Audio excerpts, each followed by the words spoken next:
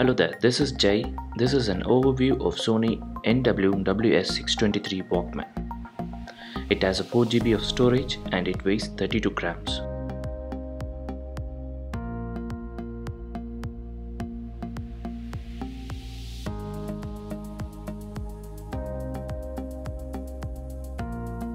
It is waterproof and dustproof with IP6X certificate.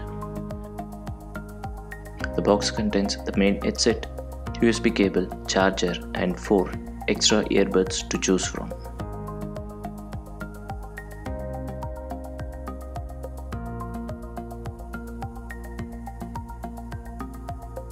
The device feels nice and has a good matte finish and the keys has good tactile feel and the design is wearable, ergonomic in design, slim and light. It has an ambient sound mode, a microphone built into left and right side of the Walkman which allows you to hear the ambient sounds around you even as you listen to the music. On the left hand side it houses mode button to change the playback mode, normal, repeat, shuffle and shuffle all and ambient sound mode to on or off the Bluetooth function and a volume buttons.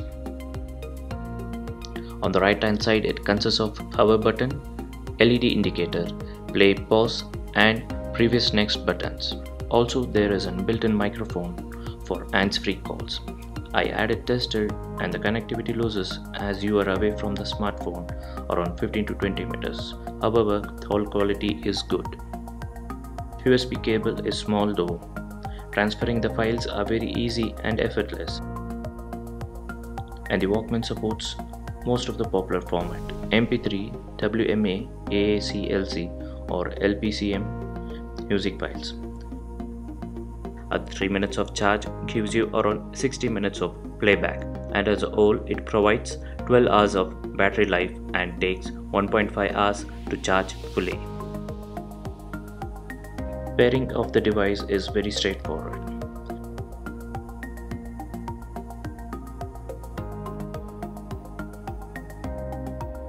I was disappointed that Sony did not provide any equalizer and has no option to choose how the sound should be produced. Well, I can say it is above average and it does not have punchy bass, what Sony is known for having that extra bass and the music can be streamed wirelessly from your smartphone using the Bluetooth function. This is the end of the overview. Share your thoughts in the comment section and subscribe for more videos. Have a good day.